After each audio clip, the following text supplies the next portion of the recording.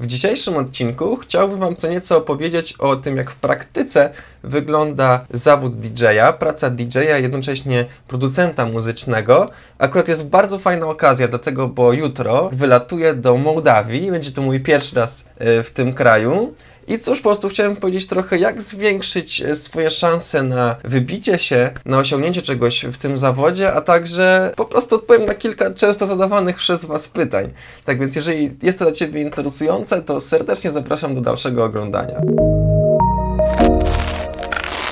W moim przypadku każdy wyjazd y, poprzedzają takie dość staranne, dokładne przygotowania, bo wiadomo, praca DJ-a to nie jest tylko po prostu pojechanie gdzieś i e, prawda, zagranie, powciskanie parę razy e, przycisku play e, i to wszystko. Ja do tego podchodzę bardzo poważnie i zazwyczaj bardzo starannie wybieram całą tych pulę tych utworów, z których e, potem mogę korzystać e, podczas swojego seta. Czyli jak wybieram utwory? Przede wszystkim e, staram się uwzględnić wszystkie swoje najciekawsze, najlepsze i najnowsze własne produkcje.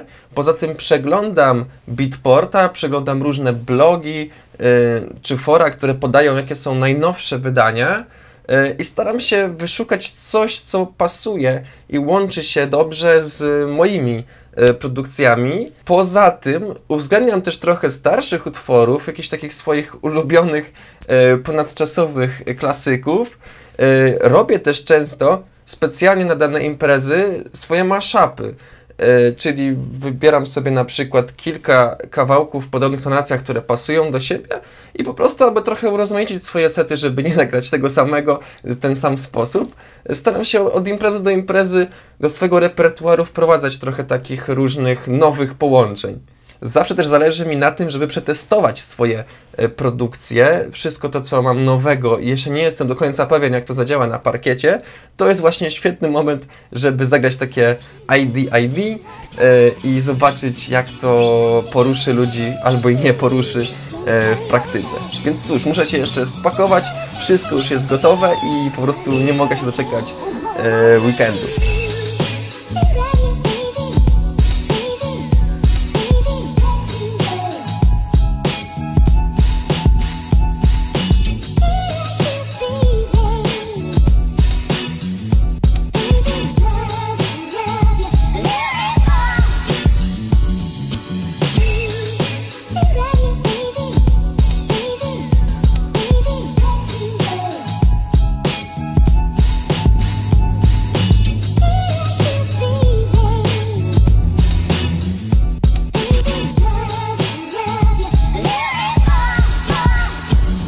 No i już na miejscu w Kiszyniowie po odprawie paszportowej będę teraz szukał Michała, organizatora imprezy.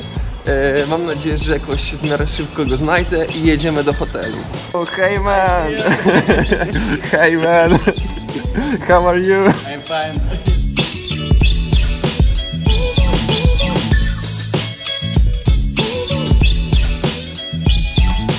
Na zdrowie! Jestem już w swoim pokoju hotelowym w Mołdawii, w Kiszyniowie i myślę, że to taki fajny moment, mam trochę czasu, żeby nagrać e, dla Was odpowiedzi na kilka pytań dotyczących e, DJ-owania, ogólnie bycia DJ-em, kariery takiego międzynarodowego DJ-a. Pierwsze zasadnicze pytanie jest takie, które dużo ludzi mi po prostu zadaje, jak jakoś zdobyć bookingi, jak zdobyć e, imprezy. Niestety odpowiedź na to pytanie jest bardzo złożona i niestety nie ma takiej prostej drogi na bookingi, e, a bardzo szkoda, dlatego, bo obecnie e, bookingi, koncerty, prawda, imprezy E, to jest największy i taki najlepszy, najfajniejszy zarobek i możliwość utrzymania się e, dla DJ-a. Przede wszystkim ważne jest regularne wydawanie nowej muzyki, wykreowanie swojego takiego unikalnego stylu, w ogóle nawet swojego imidżu, czegoś co nas będzie wyróżniać, po czym wszystko, cała reszta sprowadza się do bardzo mozolnego i żmudnego budowania świadomości, jakby, że istniejemy, prawda, e, w różnych miejscach. Na przykład w moim przypadku mogę opowiedzieć, jak to wygląda u mnie, kiedy moją ambicją ogólnie było to, żeby być międzynarodowym DJ-em i występować po świecie w różnych krajach, więc e, promocja była o tyle trudna, że musiałem na przykład poprzez media społecznościowe reklamować się w różnych krajach. Szczególnie w tych, w których mój gatunek muzyki, czyli trance, jest popularny i, i wiadomo, no, tam gdzie w ogóle jakaś publika i potencjalnie e, mógłbym zdobyć jakieś, jakieś fajne e, bookingi. Więc wszystko się właśnie do tego sprowadza, żeby wydawać dużo muzyki, stworzyć jakiś e, wizerunek, prawda? I, i dużo cię reklamować. I teraz tak, są w sumie jak tak z mojego punktu widzenia takie dwie kategorie imprez, czy tak jak powiedzmy organizatorów imprez. Jedno, e, z czym miałem do czynienia, to są takie duże imprezy, duży, duzi organizatorzy, e, takie większe firmy eventowe. E, I tutaj, no, żeby się na nie wbić, rzeczywiście trzeba mieć już jakiś profil artysty, trzeba mieć już naprawdę wykreowany wizerunek, a oni też badając prawda, rynek muszą zobaczyć spore zapotrzebowanie na Twoją osobę, na to, żeby, żeby Cię w ogóle zaprosić, bo wiadomo, chodzi o to, żebyś był albo była jednym z nazwisk, które no, przyciągną ludzi, prawda, w całym tym line-upie danej imprezy.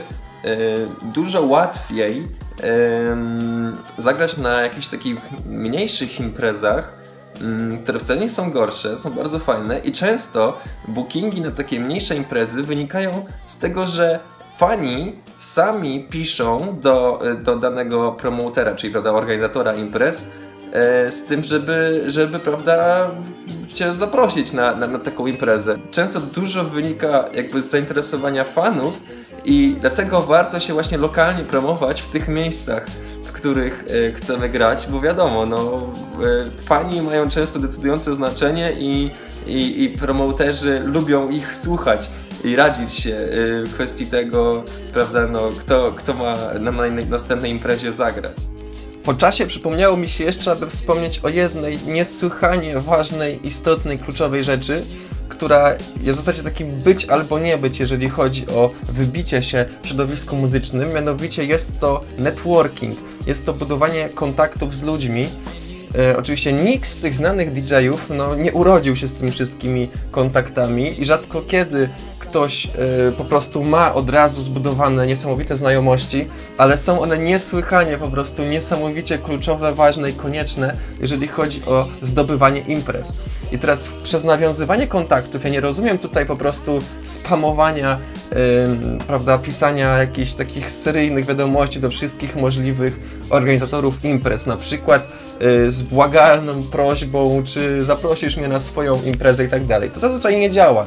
Budowanie kontaktów polega bardziej na po prostu poznawaniu tych ludzi, y, na, poznawa- na po prostu byciu takim otwartym i y, przyjaznym dla, dla prawda, różnych osób i nie ignorowaniu, nie skreślaniu osób, które mogą nam się z pozoru wydać powiedzmy takie no mniej istotne czy mniej wpływowe, ale już przechodząc do samego budowania relacji, zacznijmy raczej y, ją od zainteresowania się daną osobą, raczej od rozmawiania o niej, y, o jej problemach, prawda? Albo nawet jakichś takich przyziemnych rzeczach, taki po prostu zwyczajny small talk i dopiero po jakimś czasie y, przechodźmy do jakichś próśb, jakichś naszych, prawda, sugestii, życzeń i tak dalej. Dlatego, bo jeżeli kogoś od razu uderzymy e, jakimiś e, swoimi żądaniami, prośbami i tak dalej, to nie budujemy wizerunku jakby osoby atrakcyjnej, prawda? Tylko takiej, która ojej, czegoś po prostu chce, prawda?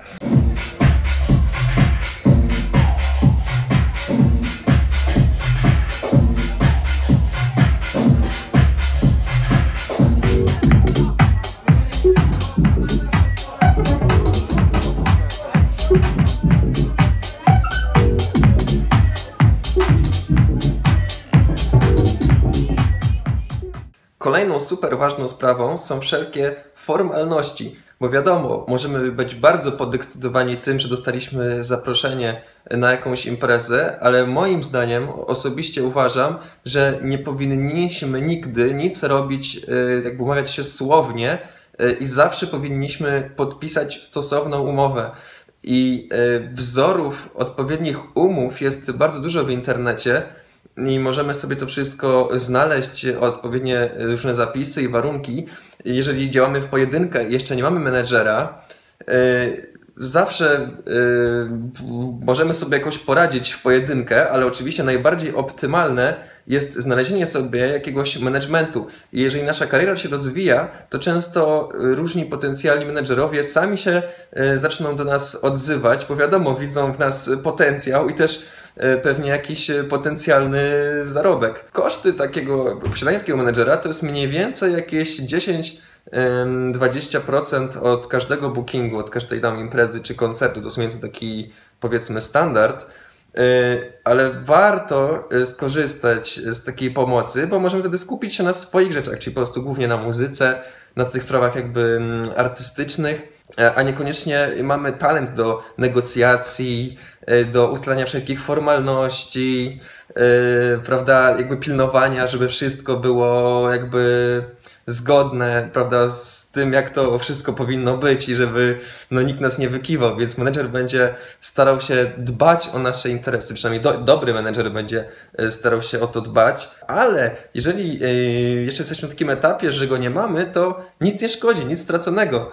E, tak naprawdę sami możemy starać się o różne imprezy i sami możemy osobiście dostawać różne oferty, więc e, jak najbardziej możemy też sobie poradzić samemu, tylko będziemy mieli no trochę powiedzieć więcej, więcej mm, na głowie, prawda? Ale nic nie jest jakieś super też skomplikowane, trudne czy niemożliwe. Parę osób pytało mnie też i ogólnie było zainteresowanych takim tematem, jak w ogóle wygląda w praktyce taki wyjazd, prawda? Taki weekend, kiedy e, sobie no, gdzieś się wybieramy i, i gramy na imprezie. Załóżmy właśnie w innym kraju, bo ja najczęściej na przykład występuję poza e, Polską.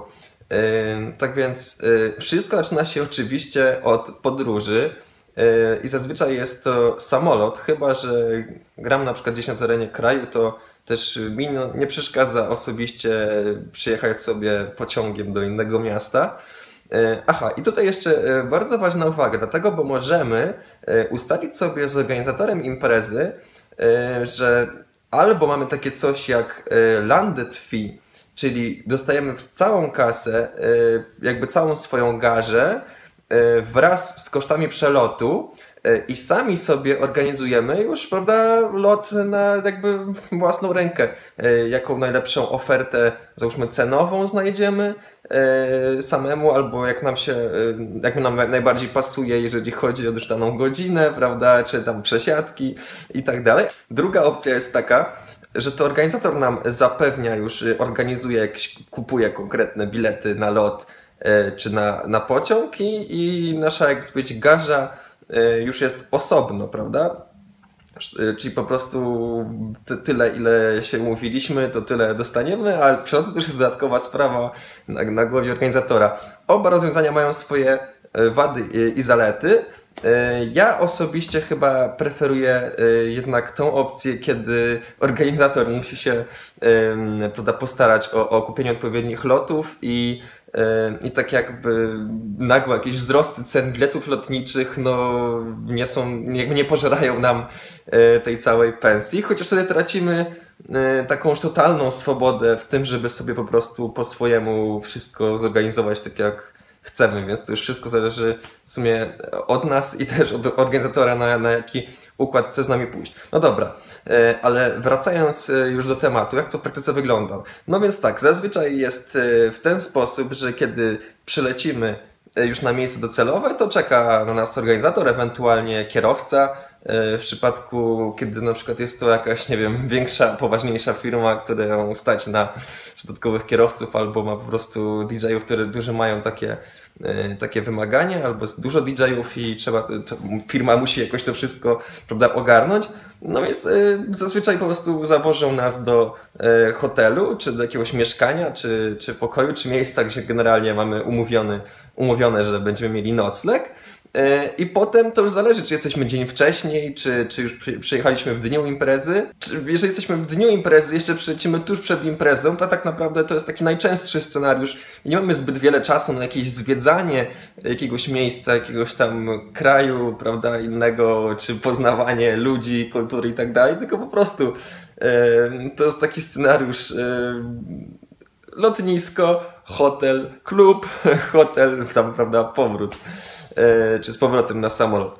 Ale ja bardzo lubię e, przylecieć sobie dzień wcześniej i jeżeli e, uda mi się jakby wynegocjować dodatkowy nocleg albo sam sobie na przykład za niego zapłacę, to mam też wtedy czas rozejrzeć się po tym mieście czy miejscu jakimkolwiek, jakimkolwiek nie jestem i trochę sobie coś zobaczyć, zjeść sobie jakieś lokalne jedzenie.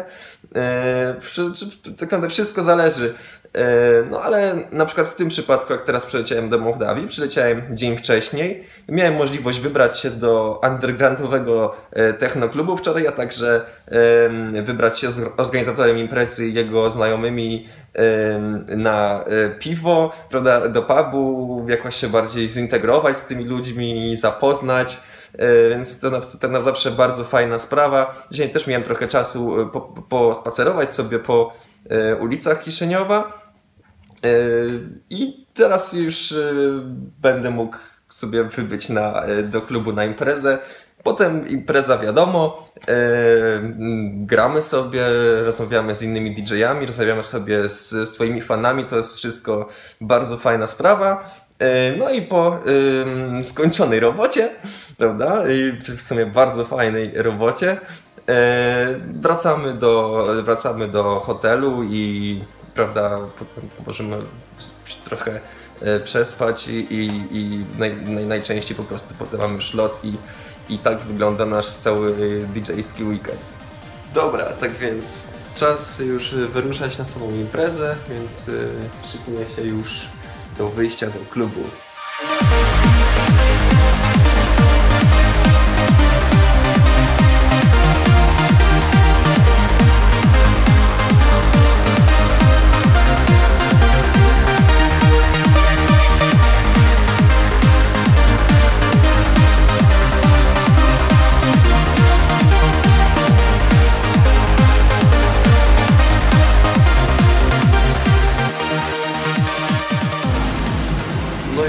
Każda fajna podróż zdecydowanie za szybko się kończy. Ja już jestem w samolocie do Warszawy. E, no i cóż, e, chyba prześpię cały lot, bo jestem masakrycznie zmęczony. E, I poddam mam porcję kilku ciekawych porad, jak już wrócę i się porządnie wyśpię. To był naprawdę fajny weekend. Doszedłem już do siebie. Odpocząłem sobie, wyspałem się porządnie i teraz mogę Wam jeszcze powiedzieć o tym, jak w ogóle wybieram kawałki w sensie już podczas samego seta, podczas samego grania, y, jak je dobieram tak, aby po prostu efekt y, był jak najlepszy, żeby, żebym i ja był zadowolony i żeby ludziom się to wszystko jak najbardziej podobało. Przede wszystkim jak najszybciej staram się zorientować, jakie są w ogóle gusta konkretnych tych ludzi, dla których gram.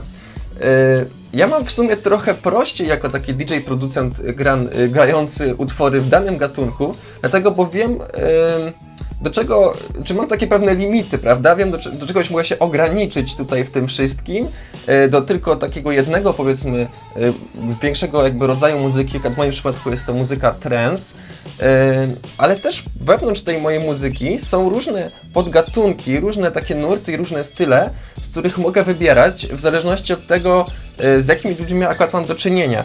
Przy pierwszych tam dwóch czy trzech kawałkach staram się bardzo uważnie obserwować reakcje ludzi i patrzeć, czy reagują na przykład bardziej na utwory z bardzo taką dużą energią, e, czy na przykład na utwory bardziej melodyczne i wokalne. Staram się jak najbardziej wywnioskować z ich zachowania, z ich e, min, prawda, z ich e, energii, czy, czy się ruszają, czy skaczą, ze wszystkiego, po prostu co dalej będzie najlepszym wyborem dla tej konkretnej masy ludzi, która przede mną stoi, prawda?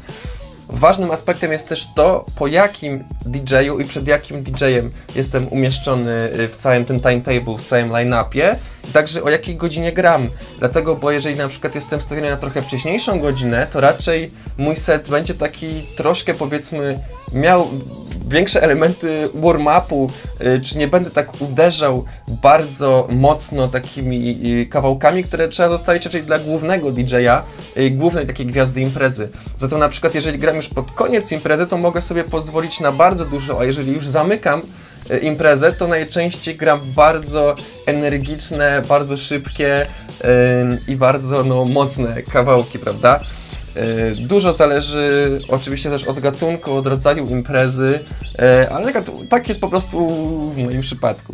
W doborze kawałków do seta staram się Y, oczywiście tak na żywo, dobierając, wybierając kolejny kawałek, staram się, aby mój set był jak najbardziej różnorodny. Oczywiście nie do przesady. Na przykład wybieram sobie, gram dwa albo trzy podobne kawałki, ale jeżeli zagram już powiedzmy czwarty czy piąty, który jest bardzo zbliżony i taki sam, to set się zrobi nieco taki monotonny i nudny.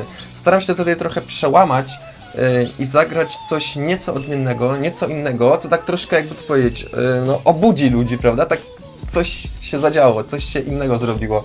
E, więc na przykład jak e, zagram na przykład jakąś bardziej piosenkę, prawda, kawałek jakiś bardziej wokalny, potem powiedzmy drugi wokalny po nim, to staram się w trzecim kawałku już zrobić jakieś uderzenie, albo coś zmienić na lekko inny e, podgatunek mojej muzyki, na przykład o mocniejszym uderzeniu i znowu gram na przykład dwa takie trzy kawałki, po czym widzę, że to już tak ludzi męczy, że już ten, ta energia już jest stworzona lekko za duża mm, i wtedy na przykład mogę znowu przejść na przykład jakiś inny rodzaj linii basowej, y, czy takie po prostu jakieś inne kawałki, y, na coś z większym groovem. Y, Naprawdę wszystko zależy od danej sytuacji, od danego tłumu, ale na pewno nie można grać seta, którym po prostu każdy kawałek to jest po prostu to samo. No chyba, że jesteśmy geniuszami i wiemy jak się w tym odnaleźć i jak zagrać tego seta, żeby naprawdę był dobry. No i cóż, większość po prostu jest obserwowanie reakcji ludzi, taka troszkę zabawa y, psychologa. Musimy też uwzględnić, jakich ludzi mamy na parkiecie, czy na przykład czy więcej kobiet, czy więcej mężczyzn, czy to są bardzo młodzi ludzie, albo na przykład nieco starsi, na przykład jakieś kolejne y, pokolenie y, osób i musimy po prostu postarać się czytać w ich myślach i zgadnąć, co, co jakby najbardziej spełni ich oczekiwania, jednocześnie pozostając wiernym swoim klimatom y, i jakby swojemu, prawda, stylowi muzycznemu. Y, Też w sumie ja na przykład mam, wydaje mi się, dość proste zadanie jako taki właśnie DJ, producent, dlatego, bo często ludzie przychodzą jednak dla moich produkcji, prawda, żeby pozobaczyć mnie jako DJ-a albo jako jednego z kilku DJ-ów. Jest to pewien już taki, taki punkt zaczepienia i ułatwienie. E, A na przykład granie jako taki lokalny DJ w klubie, e, na przykład załóżmy w Polsce, e, często jest sporym wyzwaniem, dlatego, bo nie ma właśnie takiego czegoś, że ludzie przychodzą dla ciebie jako, jako dla producenta i musisz naprawdę dokładnie zobaczyć ich reakcje e, i co im się akurat w danym dniu bardziej albo mniej podoba. I to jest też takie, jakby to powiedzieć, ciągłe dbanie o to, żeby parkiet się nie opróżnił, prawda? I, żeby, i nawet każdy jeden pojedynczy, niedobrze dobrany kawałek y, czasami no, jest w stanie po prostu sprawić, że ludzie zejdą, y, zejdą z parkietu. Y, ja za właśnie takich problemów często nie mam, więc najwyżej, największy problem jaki mam to jest na przykład to, że y, zły wybór kawałka powoduje, że ludzie no, wyglądają na takich trochę bardziej znudzonych, prawda? Albo po prostu no, mają takie miny w stylu chłopie zagraj coś innego. I cóż, to już wszystkie porady, jakie miałem dla Was y, w tym całym moim vlogu. Y, Mam nadzieję, że Wam się podobało. Jeżeli macie jakieś jeszcze inne pytania dotyczące zawodu DJ-a, y, to serdecznie zapraszam Was do zadawania ich w komentarzach. Wbijcie też na grupę facebookową, na fanpage Surrounded Audio. Y, Chciałem też bardzo serdecznie podziękować wszystkim patronom za wsparcie. Tutaj powinna Wam się teraz wyświetlić cała lista wszystkich patronów. I cóż, do zobaczenia w kolejnym odcinku. Trzymajcie się ciepło. Hej!